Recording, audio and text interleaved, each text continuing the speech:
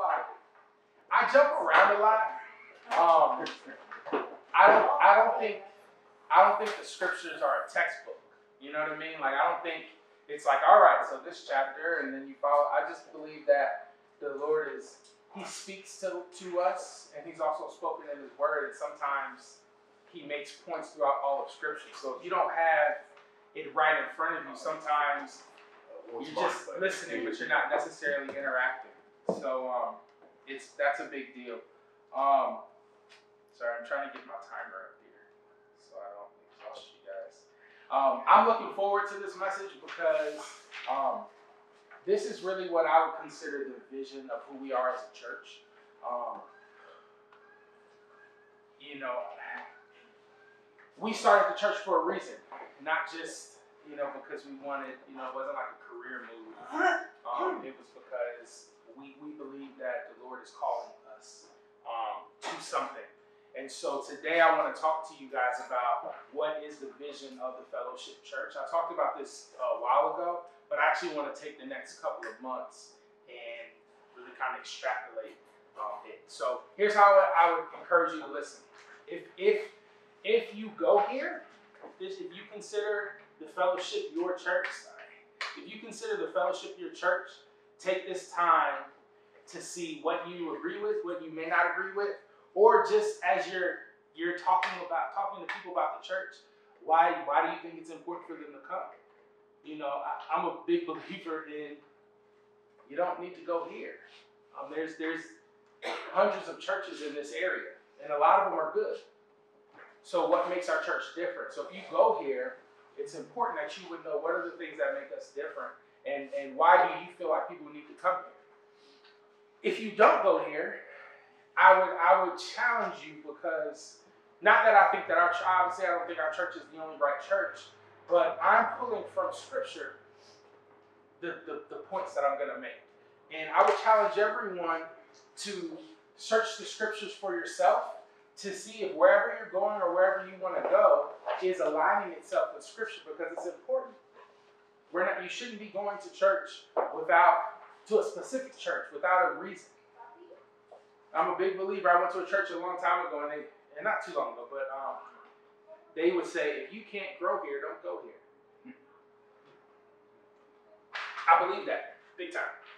So open up your Bibles to Acts 2 42 through 47. This would be the scripture that we stand on as the fellowship church. This is what we this is what we're trying to emulate here. When you get there, give me an amen. Amen. Louis is always there quick, fast, and in a hurry. All right. So when, when someone else is there, Acts 2 42 through 47, give me an amen. amen. All right.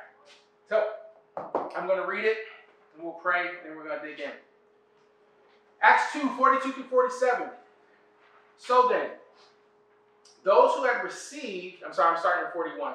Um, those who had received his word were baptized. And that day, there were added about 3,000 souls. Pause. A lot of you guys know this. This is the first sermon of the church. The Spirit falls on the disciples. They begin speaking in tongues, not just the 12, but 120 of them. They began speaking in tongues.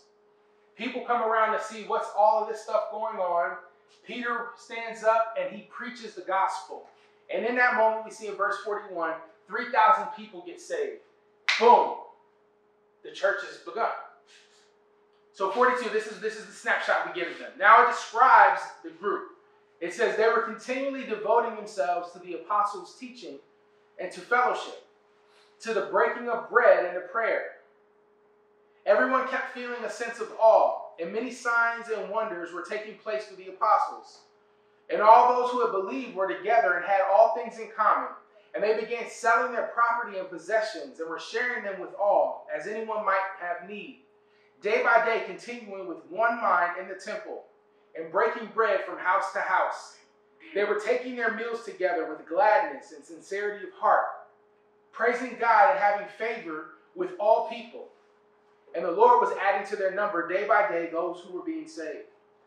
Father, I pray that you would bless your word.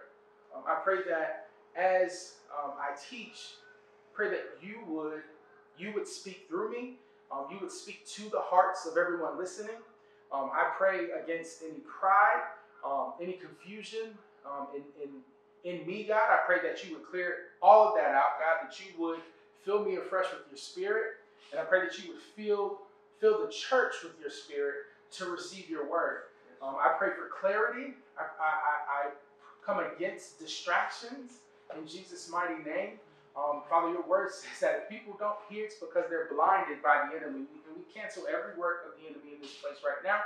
Um, and I pray that people will receive your word with gladness and with understanding in Jesus' mighty name. So in Acts 42, Acts 2:42, it highlights four things that the early church was doing. So it highlights four actions in 42. It says teaching, fellowship, breaking of bread, and prayer. Those are the four things that I'm going to break down over this next month or so about the fellowship church. How does it look like in our church? But today I'm going to focus on teaching. But I want you to pay attention to something. And, and you guys have heard me say this. I, this is kind of going to be repeating for some of y'all, but um, it says, it doesn't just say it's something that they did. In 42, it says they were continually devoting themselves. It's important that we understand the language because the word used for devoting is a Greek word, word proskatera. What it means is, the definition is this to continue to do something with intense effort despite difficulty.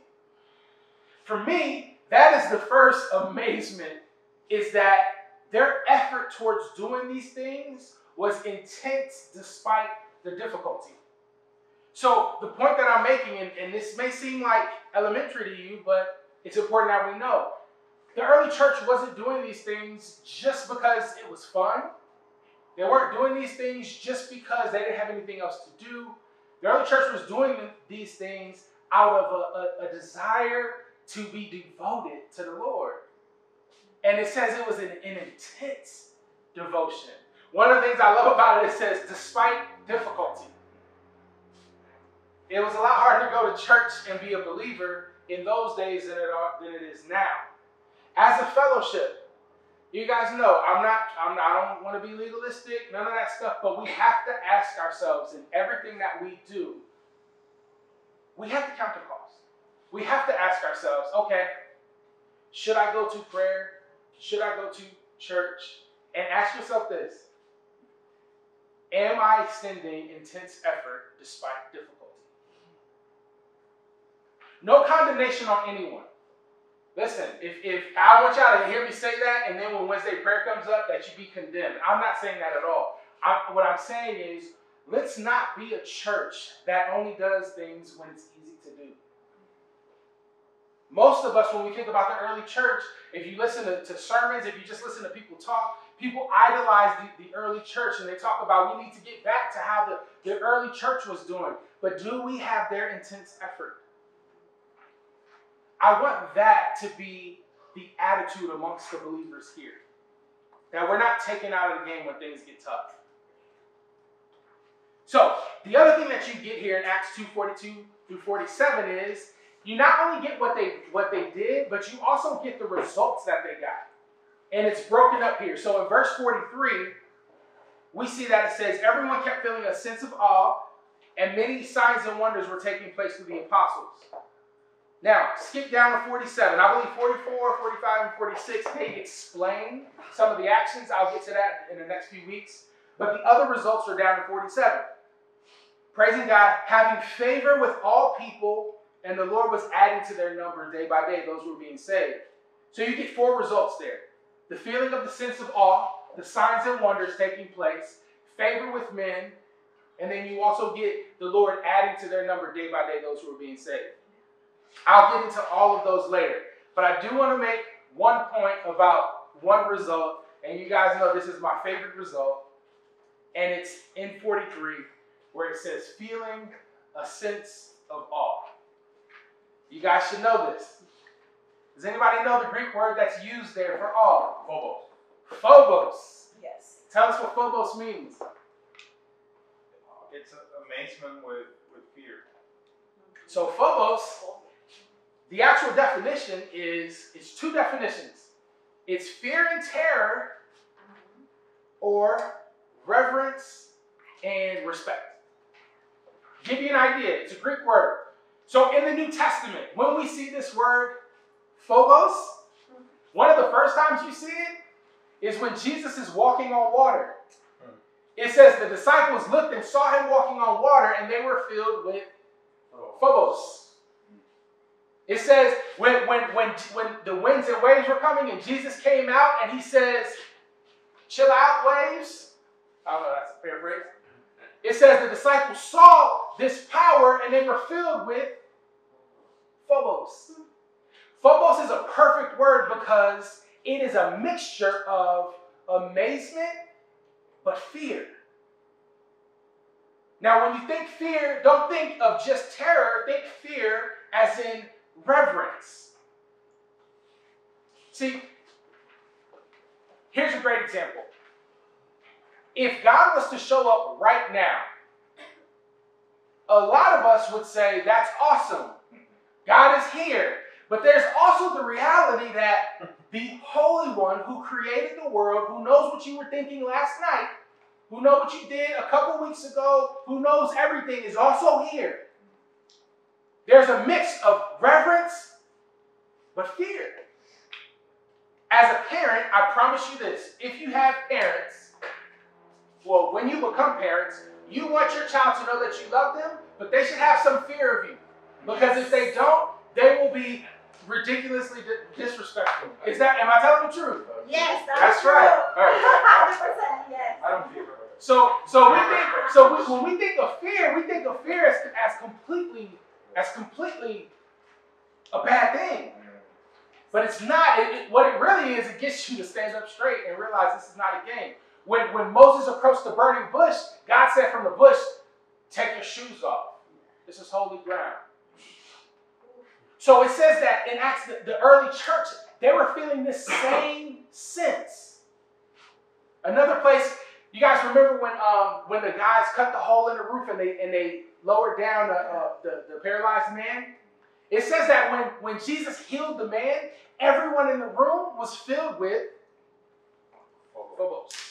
It says, here's, here's what it exactly says in Luke 5.26. It says, they were struck with astonishment and began glorifying God. And they were filled with phobos, fear, saying, we have seen remarkable things today. This is why this is important. There's a difference between awe and phobos. I don't like, I, I, I think awe is a bad translation, but who am I? See, awe creates action and movement and excitement. But often when people are awed and when they're amazed, once the dust settles, there's no life change. Anybody ever gone to a message that you thought was just groundbreaking and you were super excited about the message? You felt like it spoke directly to you, but then a week later, nothing in your life has changed? You were, you were in awe. Phobos creates impact because Phobos introduces you to the creator of the universe. And that's what causes life change. See, Phobos is not about signs and wonders or a person or a teaching. Phobos connects you to the creator. So, I'm going to tell you about teaching, and then my hope is to, to show you how this type of teaching will create these things in us as a church. So, first, let's talk about the apostles' teaching. If you're taking notes, take this note. The Fellowship Church is devoted to teaching that exalts Christ and has the intention to see him formed in us. If you had to ask, if someone says, hey, what are they teaching at the church? This is what you can tell them that we are devoted to teaching that exalts Christ and has the intention to see him formed in us. So, first, let's deal with teaching in and of itself. Teaching is foundational to the fellowship. Not just our church, but the fellowship, the church universal. See, if you are a believer, you have to have a high view of teaching because we're defined as disciples. A disciple means learner or student. A student is a one who, a person who is learning. A disciple who is not learning is not a disciple, just by definition. See, a disciple is one who is being taught.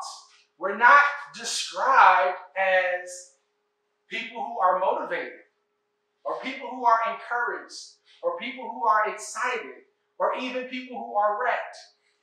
We're described as learners, disciples.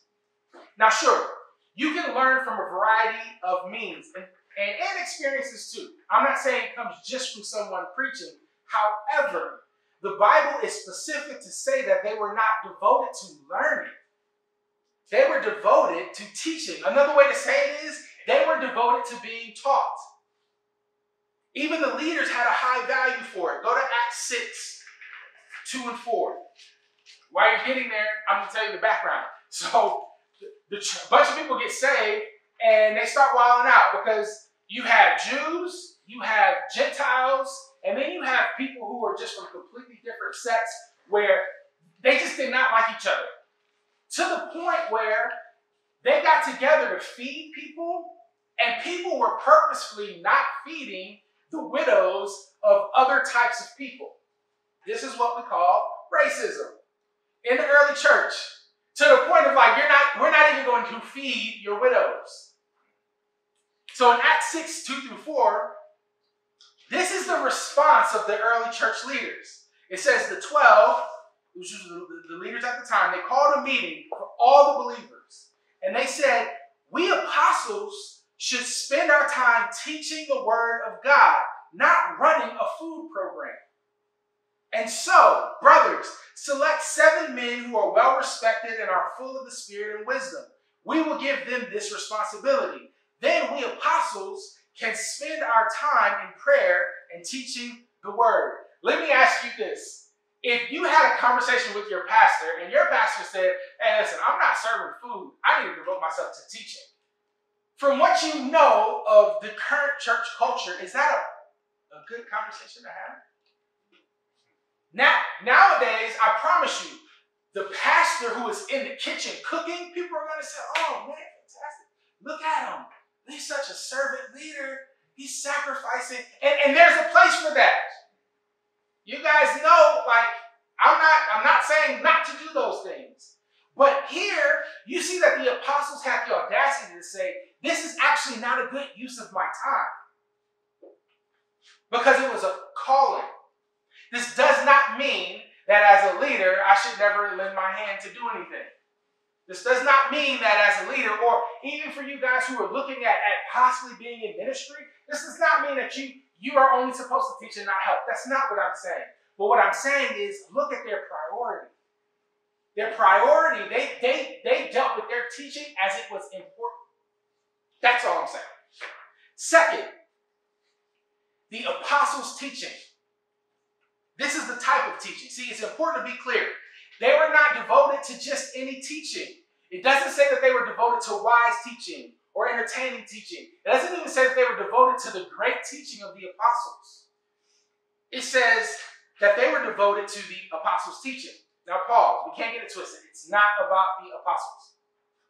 It's not, it's not saying that these people were superhuman, so they loved listening to their teaching. Even when you read in the scriptures, the apostles actually rebuked people when they tried to make them higher than they were. It wasn't the apostles, it was what they were teaching. Because what they were teaching was different. Understand at that time, majority of the believers were Jewish, which means they were already had some type of religious devotion. They were already going to temple, they were getting weekly teachings from the synagogues out of the scriptures, by the way. So they were getting good, solid teaching already. But the word teaching that's used here is actually a, a Greek word that means doctrine. It's talking about their specific teaching. They were devoted not to the apostles, but to their doctrine, what they were teaching. So, what do you guys think was different about what the apostles were teaching? Anybody got an idea? Jesus. Jesus. Turn to uh, 1 Corinthians 2, 1 through 5 real quick. Sorry, I know I jumped. But now you have it in front of you. Amen. First Corinthians 2. 1 through 5. 1 Corinthians 2, 1 through 5. Now here's here's where I want you guys to hone in. Because honestly, this is one of the reasons why we felt the need to start the church. This this here is a big freaking deal. If I can make that very, very clear. What I'm about to get into, this is extremely important. All right, we there? When I came, this is Paul the Apostle talking. He says, When I came to you, brethren, I did not come with superiority of speech or of wisdom, proclaiming to you the testimony of God. I determined to know nothing among you except Jesus Christ and Him crucified. I was with you in weakness and in fear and in much trembling. And my message and my preaching were not in persuasive words of wisdom, but in the demonstration of the Spirit and of power, so that your faith would not rest in the wisdom of men, but on the power of God. See, the apostles weren't looking for a way to present Jesus more powerfully. They believed that the message of Jesus carried its own power. Bless you. Amen. we see here, if you say in 1 Corinthians, in verse 2, Paul says that he made the conscious, the conscious effort to focus primarily on Jesus. Despite his weakness and fear in verse 3. If you read in verse 1, he says, I did not come with superiority of speech or of wisdom, proclaiming the testimony of God. He's saying, I'm already coming to proclaim the testimony of God, but I did not choose to use special speech or special wisdom. See, Paul not only trusted in Jesus for his life, but he trusted in the power of his message. Amen. This is why this is so important. Because this is almost the opposite of what we see in the North American church. In verse 4, Paul says that he didn't use persuasive words of wisdom to get his point across. Yet, these days, most, most preaching relies exactly on that. I've preached long enough to know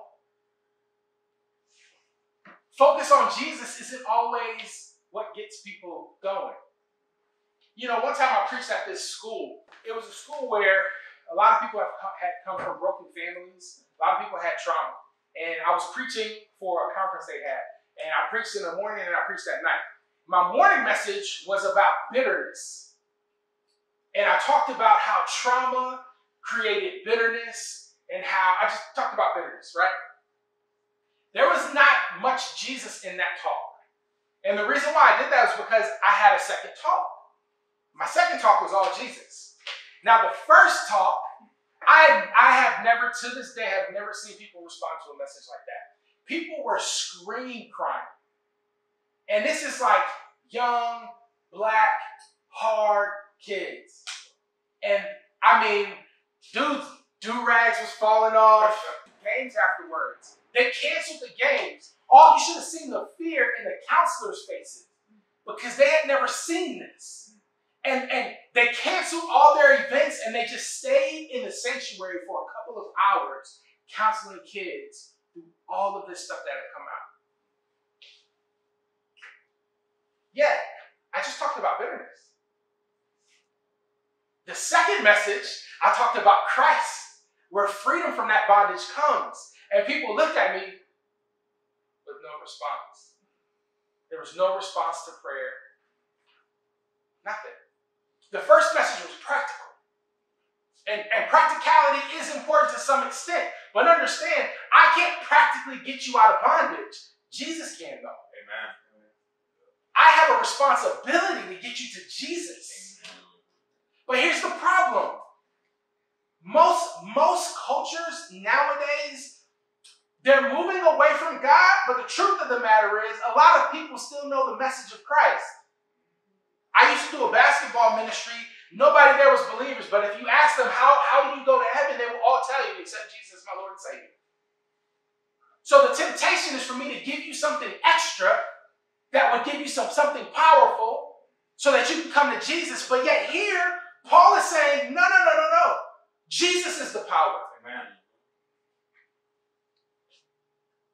We hear a lot of persuasion, a lot of wise words, a lot of energy, a lot of motivation, a lot of really dope quotable phrases, but not a lot of Christ.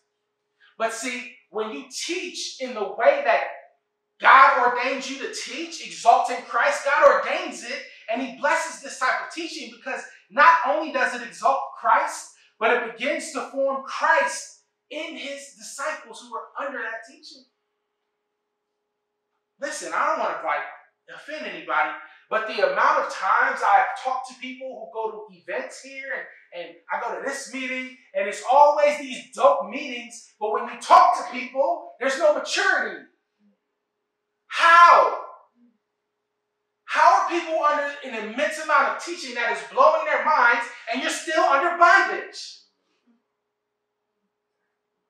I can't dope line you out of pornography. It's just not gonna work. You you really think has anybody had sex before? What kind of word can I give you to stop making you have sex? Are you kidding me? You know what does that though? Jesus. Amen. Anybody ever been in love? You fall in love with somebody, right? And, and, and if, if they go to this church, where do you start going? Right? Because that's what love does. Message that messages that exalt Christ, it makes you fall in love with Him. Amen. Next message, or next point. It's teaching that has the intention to equip. You can just listen, you don't have to go here. But in Ephesians 4, I'll get to this at some point. Ephesians 4, I believe, is, is such a layout for how God wants the church to go. But in there, it says that when Jesus left, he actually left and gave gifts to the church. And it says that he gave gifts for the sake of equipping us. I'll read it. So in verse 11, it says, He gave some as apostles. How many of you guys know? I, just, just I don't want to get into it, but just say everyone agreed that apostles are still working now, right? How many of you guys know if an apostle came in, you would you would probably and you believe he was an apostle, you'd say, wow, some amazing stuff is about to happen. Yes or no? Mm-hmm. Okay. He gave some as apostles, some as prophets. Anybody ever receive a prophetic word? Blows your socks off, right? Some as evangelists. Anybody ever seen somebody preach the gospel to hundreds of people and they get saved? Then it says, and some as pastors and teachers. They don't seem to carry the same weight. But then in verse 12, he says, He gave them for the equipping of the saints, for the work of ministry, to the building up of the body of Christ. We will attain all unity of the faith, knowledge of the Son of God, to a mature man. Then it says, to the measure of the stature which belongs to the fullness of Christ. Teaching is one of the things that God has ordained to equip you to get to the full stature of Christ. This is how he's planning to do it. See, the apostles were teaching that righteousness could come from faith in Jesus. We all know that. Majority of the American church knows that. But it wasn't just that. It was the teaching of the lordship of Jesus in the believer's life, which results in a fullness in your own life. So it's not just preach Jesus a lot, it's about the intention of, I want to see Christ formed in you.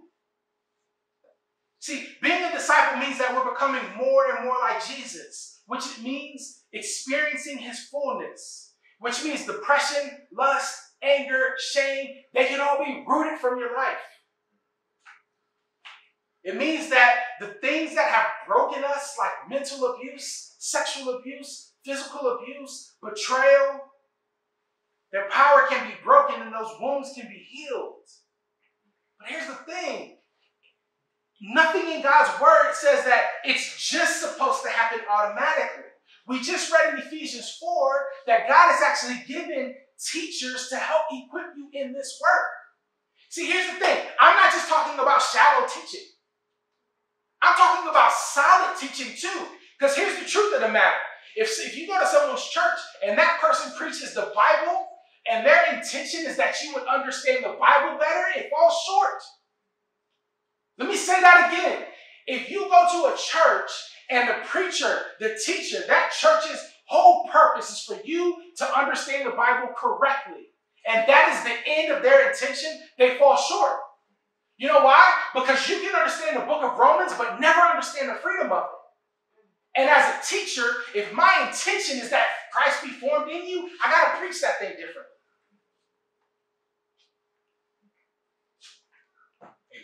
Amen. In go to Colossians. I told you. Colossians 1, verse 28. Everybody, and somebody except for Louis, give me an amen when you're there. Amen. But I was there.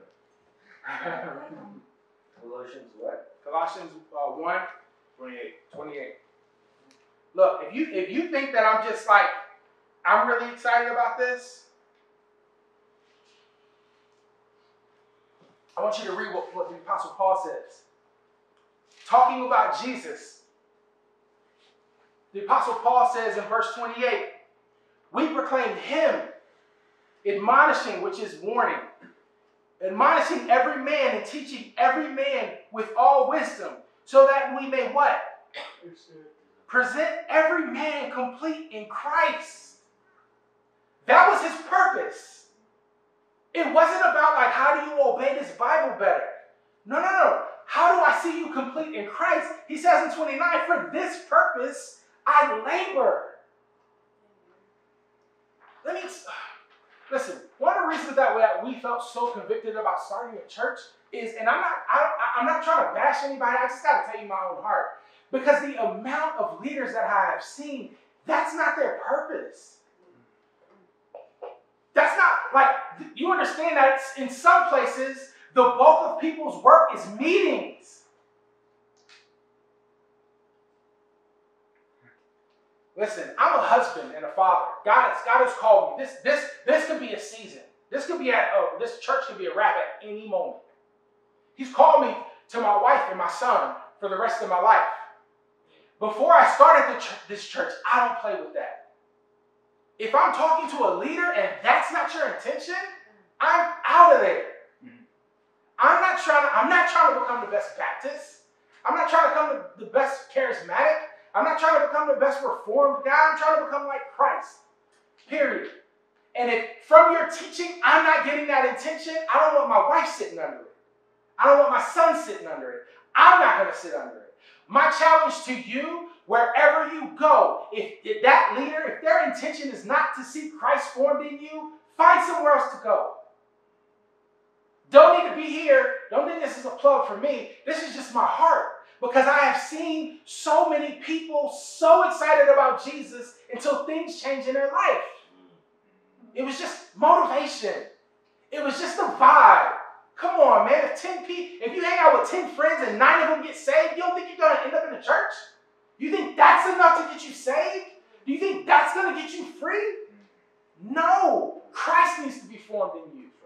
You care less how the worship sounds. I don't know. I don't care if y'all like if y'all like the spot that we're in or not. I don't care if we have a dope venue or if we don't. Is Christ being formed in you? Is that my intention? When it's not, get me out of here. Because understand, that's your only hope. Mm-hmm. Otherwise, you're going to live a life. There's a, elsewhere in Scripture it says, one man lives his life built on the foundation of Christ. The other man lives his life built on the foundation of the things of the world. And he says, when the second coming comes, everything that's not built on Christ is burnt up. And the man who's a believer, but he built his life on the other things, he'll get into heaven. But the Bible says, as though burned through fire. It says he, he'll get in, but he'll get in smoking. How, how, how, this is why it gets me so frustrated. Because I know believers that have been under the same bondages for years. It doesn't even make sense. How are we telling people about peace and we're stressed out all the time? And you know you're not supposed to be stressed, but all you do is you get messages that talk about don't be stressed, don't be stressed, don't be stressed. Give you a dope metaphor, but Christ is not being formed in you. Sorry. See, it's, it's not just mentioning Jesus in every sermon. This is, this is the point. It's not just mentioning Jesus every sermon or doing some altar call at the end of a message. A message that is simply motivation with some Jesus sprinkled in there is even worse because it gets people excited enough to stay, but they never experience freedom because they don't know how. Great example. My son came to me the other day. He, uh, we had to get him because he's he's crying. We get a message from another parent saying Elijah's out here crying. So we went to go see what happens. Long story short, he was walking with two friends, and um, he said something to a, a friend said something to him. He said something back, and the other friend kneed him in his leg. And he's crying, but like my son's a tough kid, so it's like, why are you crying? Well, what happened was he was he was hurt because he thought that was his friend. And he felt so rejected. This is the difference. I did not tell him, well, son, if God be for you, who can be against you? Is that biblically correct? Yes. Here's what I told him. Son, I opened up the scriptures and I said, son, look at Jesus. It says that he was rejected too. And then in Hebrews, it says that he went through things so he could identify with you. What a great God that he went through those things so he knows how you're feeling right now. And then his rejection actually allowed you to be accepted by the Father. Amen. Oh my God. Come on, man. Because you know what it did? Now, instead of saying, well, if God be for me, who can be against me? You know what he said? Excuse my friend. This happened to Jesus. I'm a disciple. Then I showed him the scriptures. Now he's not tripping off the next time it happens because Jesus said, if it happened to me, it'll happen to you. But fear not, you have overcome the world. Christ is formed in him. Amen. And it's not just some because I have to equip myself because life goes on past that moment. Mm-hmm. A lot of Sundays are just therapeutic. Come in and oh man, that was a good word that you prayed. I come from black church, so like you pray, you praise it out, and it's therapeutic. Yo, he, he, here's how you know we're off base. Because if you look at the teaching in most North American churches, it's just a recycling. Why are you still giving messages about haters? Why do you still have haters or why are you still upset about it? Why are you still giving messages about overcoming the, the Goliaths in your life? We haven't figured that out yet. Hmm.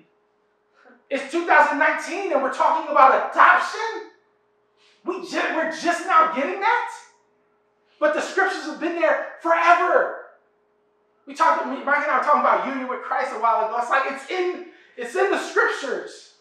But people don't talk about it because there's other things that you can give five points to a healthy relationship. Sorry. If there's no teaching that exalts Christ and that equips the body to become more like Him, at best, will produce converts who believe in Jesus, but who are still under the same bondage and still in the same sins as the world.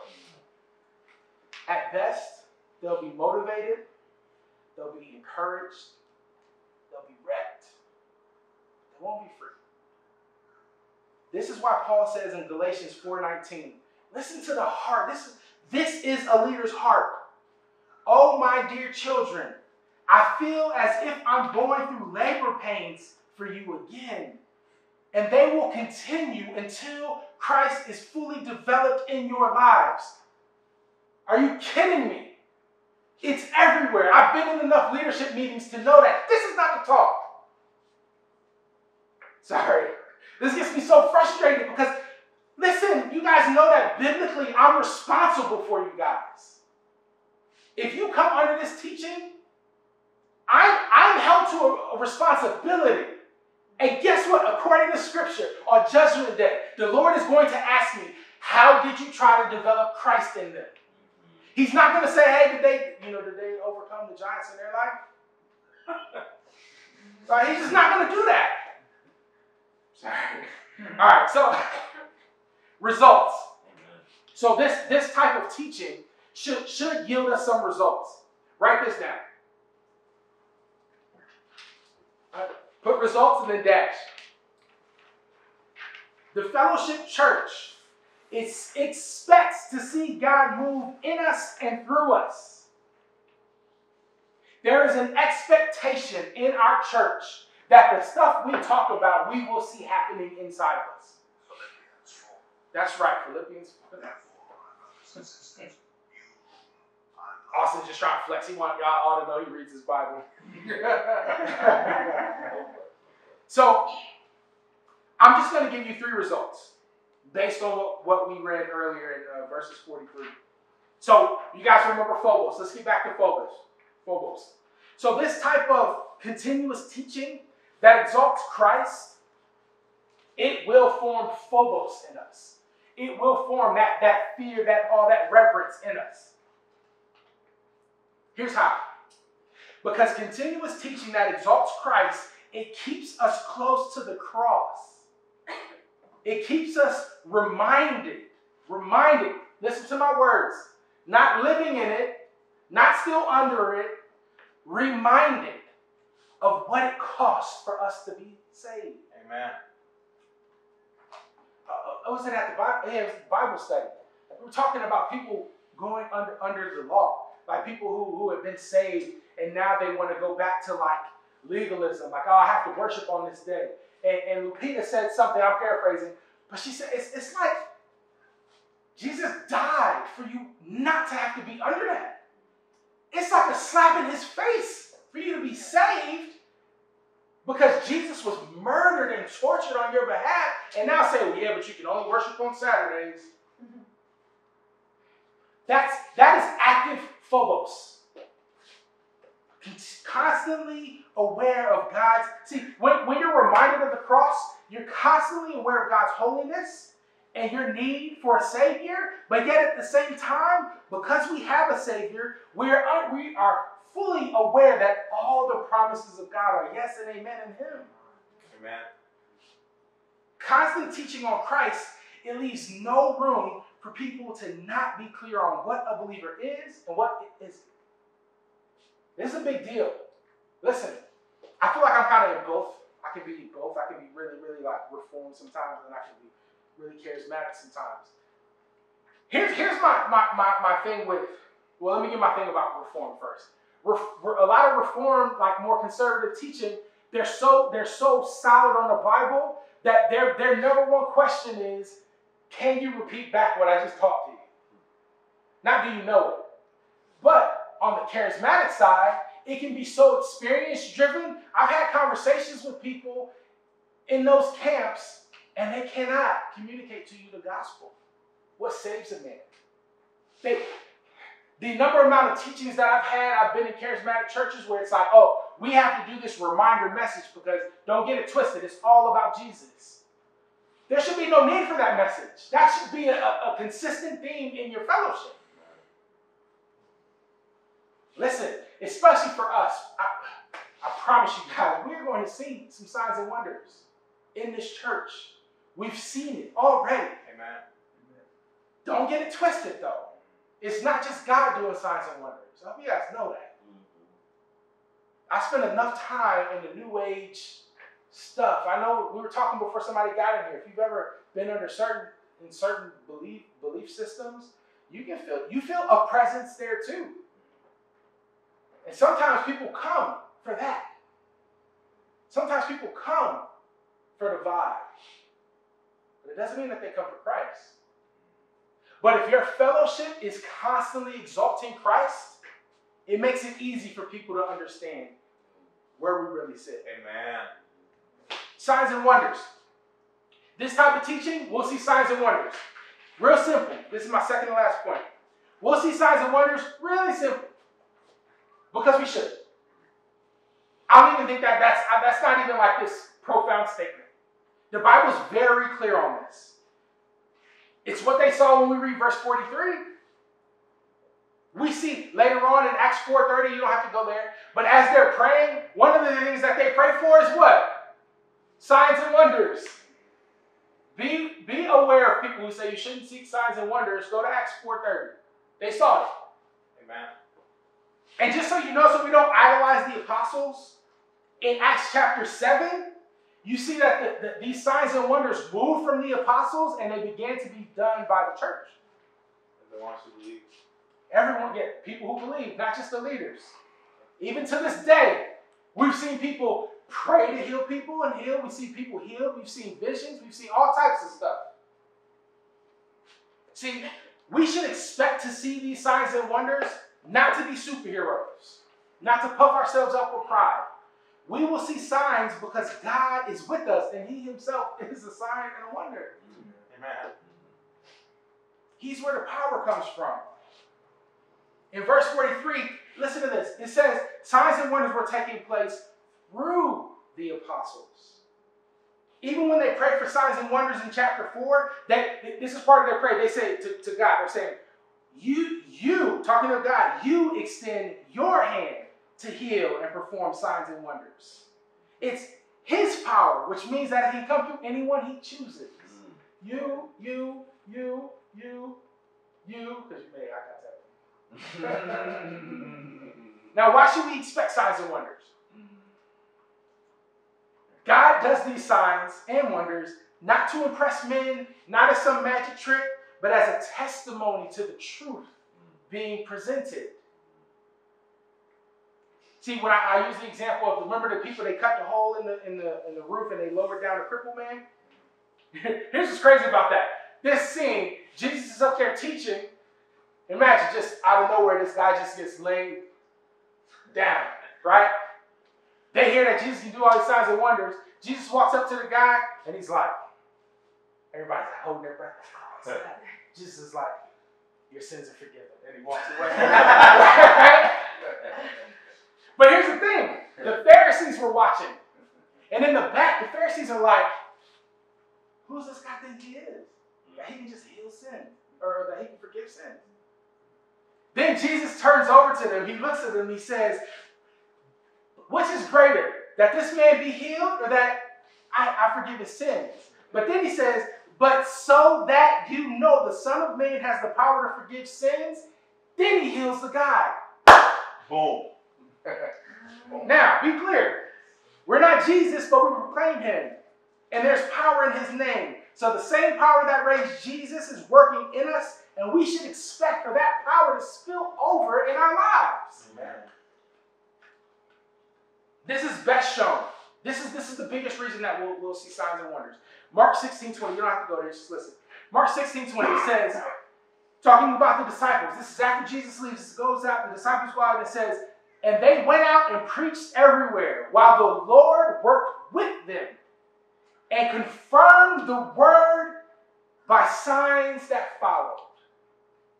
If we are preaching and exalting Christ, the entire Godhead gets excited.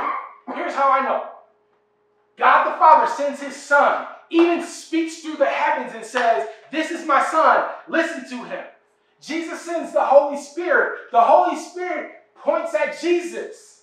When you do the same thing, it only pleases the Lord. And we will see that the Lord will work with us and confirm our word by signs.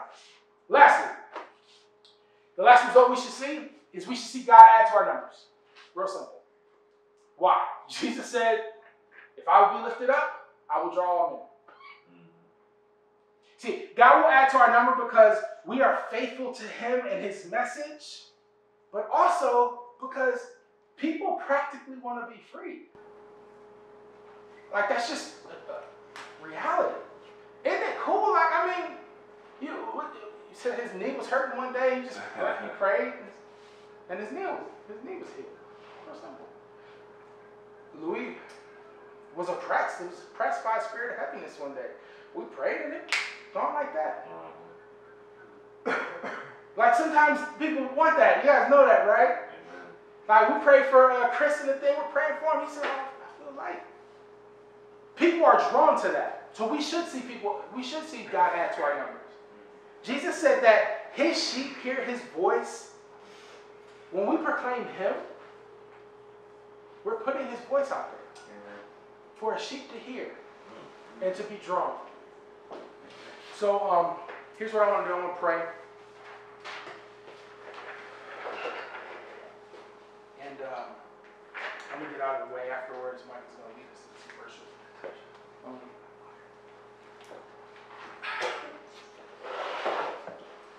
my, my challenge and encouragement to you guys um,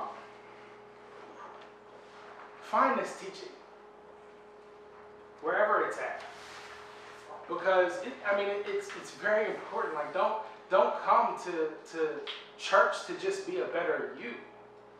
Come to be like Him.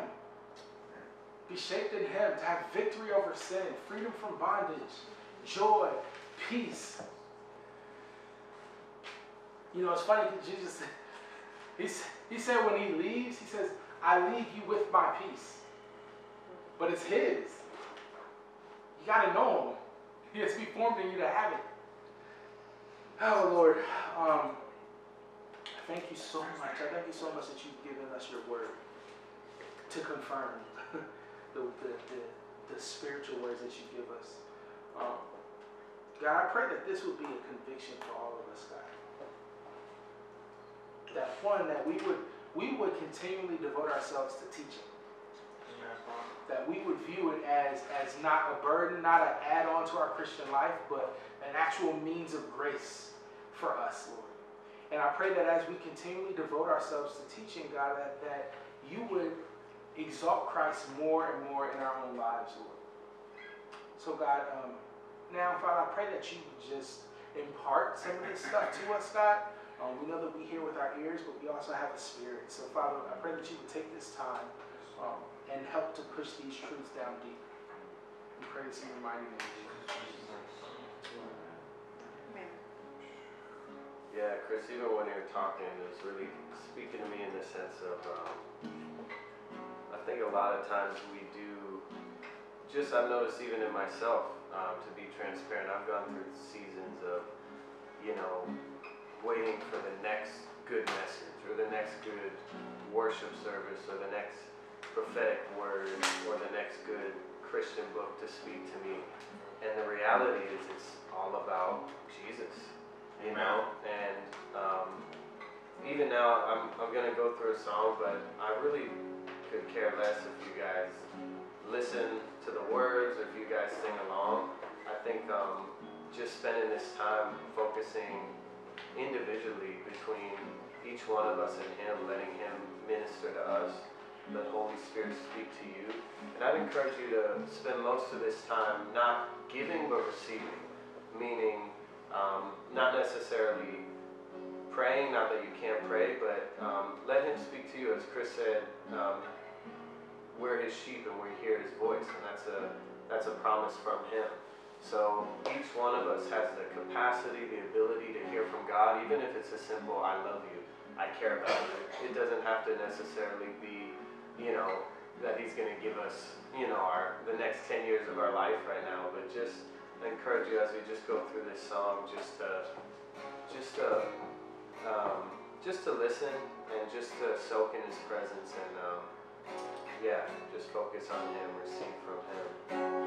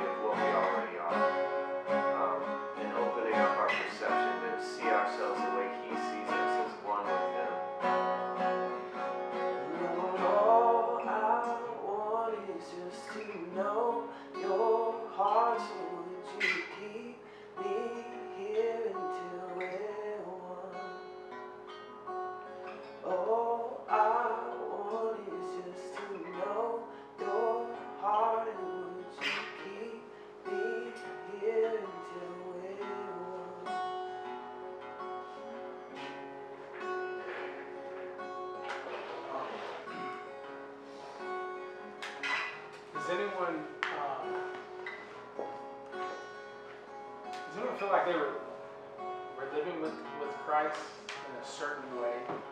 Um, and uh, I want you to come up to me. We'll have you pray for us. Um, you want to take over? I'm going to Chris, if possible, and point I would like to give a small testimony about my uncle that came to visit. Absolutely. Yeah. Um, we're, yeah, I was about. Alright. So I, as I as we heard the message today, I just felt God put in my heart. Um, this verse.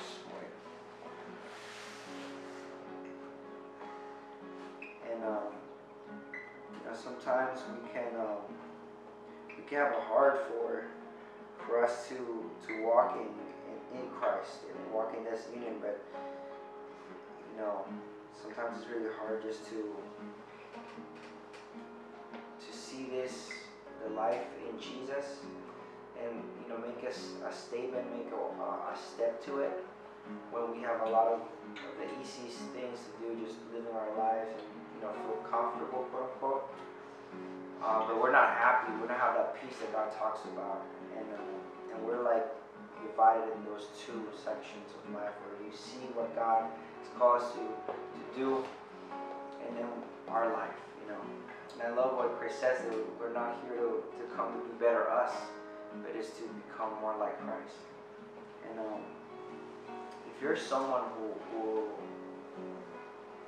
who who sees Jesus and sees the life of Jesus in the walk of life, and you want that, and you want to be more on fire for the Lord, and you want to walk into into these things that we see, you know, in Acts people walking into, but it's just for some reason it's just hard. Um, I just want to read Zechariah 4 and 6. It says, for uh, Zechariah 4 verse 6, it is not by my, not by power, but by my spirit. It is not our our our own energy, it's not our own uh, wisdom, it's Him. And it's just actually just yielding that for the Lord and, be ruler of that. So I just want to pray uh, something. I think maybe you guys can pray with me as I say repeat. Um, if you're that person right now, you want to be more on fire for the Lord, if you if you want to go into this life, um, please repeat it. It's not also just fire. Okay, pray with us. Say, dear Lord Jesus, Dear Lord Jesus, I forgive everyone. I forgive everyone. Forgive me of my sins. Forgive me of my sins. Wash me and cleanse me. Wash me and cleanse me. I believe you died and you are coming back again for me. I believe you died and you're coming back again for me. Thank you that you have chosen me Thank you that you have chosen me and that you have a purpose for my life. and that you have a purpose for my life. I thank you that in the name of Jesus, I thank you that in the name of Jesus, I can ask you anything according to your will, I can ask you anything according to your will, and it will be done. and it will be done. Therefore, Therefore, I ask that you give me great courage to preach your word everywhere I go. I ask that you give me great courage to preach your word everywhere I go. Stretch out your hand with healing power. Stretch out your hand with healing power. May miracles, signs, and wonders be done through me May miracles, signs, and wonders be done through me for your glory. for your glory. I will go wherever you want me to go. I will go wherever you want me to go. I will say whatever you want me to say. I will say whatever you want me to say. I will do whatever you want me to do. I will do whatever you want me to do. Father, Father, not my will, but yours be done. not my will, but yours be done. Thank you for your goodness Thank you for your goodness and your mercy. and your mercy. To you belong all the glory To you belong all the glory and all the honor. and all the honor. In Jesus' name, In Jesus' name, amen. amen. So yeah, thank you, Father, because you are so grateful to us, Lord, and you, your hand is upon us, Lord, and, and your spirit is here, Lord. Two or more gather in your name, you said that you're here, Father. And we know that is truth, Lord, and, you, and we see, we feel it in your message, we feel it in your presence, Lord. And we just want to be more like you, Jesus. And that's why we all labor, Father, or be more like you, Father. So I just pray that you would hear our voice and our crying from our heart, Lord, because you know our hearts, you know where we are, Lord. You know what we need and where we're reaching for, Lord. So we just pray, Father, that your will be done, Father, in our lives, and that your hand be upon us at all times. Cover us with your holy blood, Jesus. And the message, Father, the seed that was planted today, Father, be protected in our hearts. For no birds of the sky could take it, Lord. The enemy cannot go and block and do something to take it away from us, Lord. We rebuke any spirit that wants to mess with that, Lord. And we honor you, glorify, and give you all the glory, Lord. In Jesus' name. In Jesus' Amen. Amen. And the message, Father, today, Father, be protected in our hearts. For no birds of the sky could take it, Lord. The enemy cannot go and block and do something to take it away from us, Lord. We rebuke any spirit that wants to mess with that, Lord. And we honor you, glorify, and give you all the glory, Lord Jesus.